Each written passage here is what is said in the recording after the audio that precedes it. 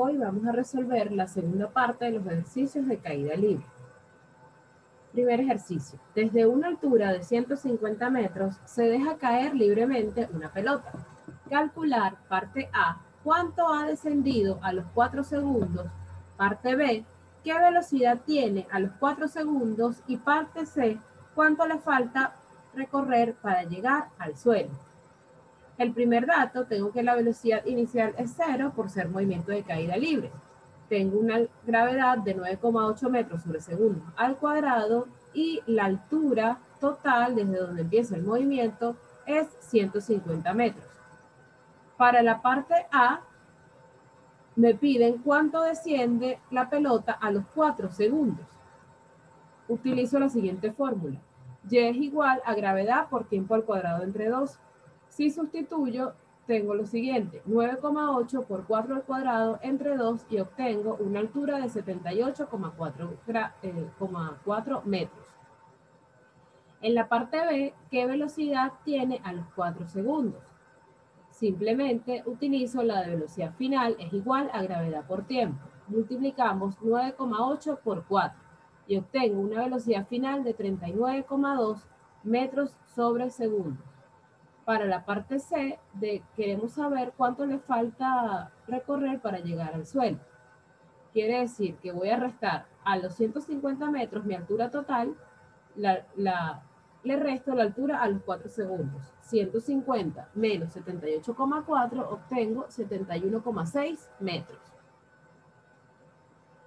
Segundo ejercicio.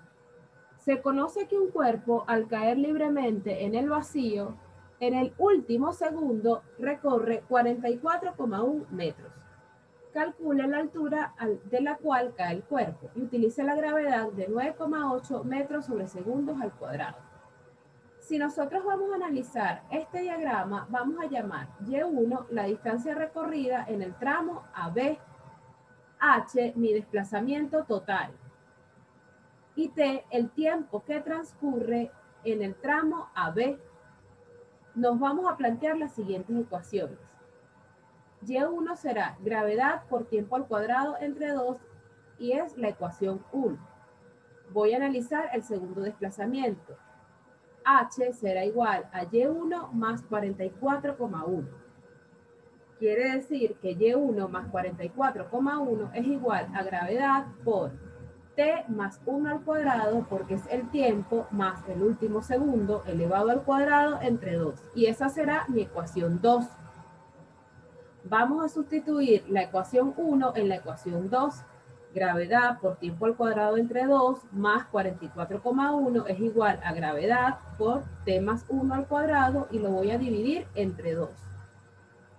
Vamos a realizar las operaciones aritméticas que nos permiten reescribir la ecuación y nos queda gravedad por tiempo al cuadrado más 88,2 es igual a gravedad por t más 1 al cuadrado entre 2. Sustituyo el valor de la gravedad y tengo que 9,8 t cuadrado más 88,2 es igual a 9,8 por t más 1 elevado al cuadrado. De este lado me queda igual, 9,8 por t al cuadrado más 88,2 es igual a 9,8 por, y aquí adentro he resuelto el, el producto notable cuadrado de la suma, t cuadrado más 2t más 1. De este lado sigue quedando igual, 9,8 t cuadrado más 88,2 aplico propiedad distributiva, me queda 9,8 por t al cuadrado más 19,6 por t más 9,8. Y ahora veo que se van a eliminar los términos que están elevados al cuadrado. Todo nos queda de la siguiente manera. 88,2 menos 9,8 es igual a 19,6t hago esta resta y me queda 78,4 es igual a 19,6t y obtengo un tiempo igual a 4.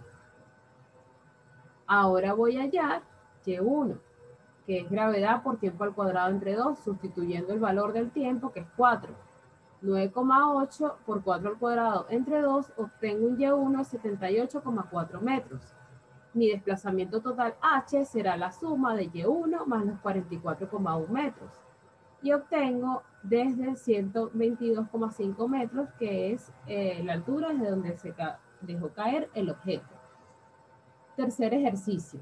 Se arroja una piedra hacia abajo en línea recta con una velocidad inicial de 8 metros sobre segundos y desde una altura de 25 metros. Calcule el tiempo que tarda en llegar al piso y ve la rapidez con la que choca contra el piso. Tengo el dato, mi velocidad inicial de 8 metros sobre segundos y tengo una altura de 25 metros. Para la primera parte, como mi velocidad inicial esta vez tiene un valor, eh, vamos a utilizar esta fórmula completa. Y es igual a velocidad inicial por tiempo más gravedad por tiempo al cuadrado entre 2. Si yo sustituyo los valores sin las unidades, tengo que 25 es igual a 8t más 9,8t al cuadrado entre 2. 25 es igual a 8t más 4,9t cuadrado. Mi ecuación cuadrática queda de la siguiente manera. Menos 4,9t al cuadrado menos 8t más 25 igual a 0. Al yo resolver mi ecuación cuadrática voy a obtener dos tiempos. Un T1 de menos 3,21 segundos y un T2 de 1,58 segundos. Como el tiempo no puede ser negativo, vamos a tomar el tiempo igual a 1,58 segundos. Para mi segunda parte, te debo calcular la velocidad final. La fórmula es velocidad inicial más gravedad por tiempo. Eh, sustituyo los valores y tengo que 8 más 9,8 por 1,58 y la velocidad final es de 23,4 metros sobre segundos. En el ejercicio número 4 nos dice lo siguiente. Una niña deja caer una muñeca desde una ventana que está a 80 metros de altura sobre el suelo. Calcular el qué tiempo tardará en caer y con qué velocidad choca contra el suelo. Para la parte A, hallo el valor del tiempo, que es con la fórmula raíz de 2 por y entre gravedad. Multiplico 2 por 80 entre 9,8 y obtengo un tiempo de 4,04 segundos. Mi última parte me piden la velocidad final simplemente multiplico la gravedad, que es 9,8, por el tiempo, que es 4,04 segundos. Y obtengo una velocidad final de 39,59 metros sobre segundos.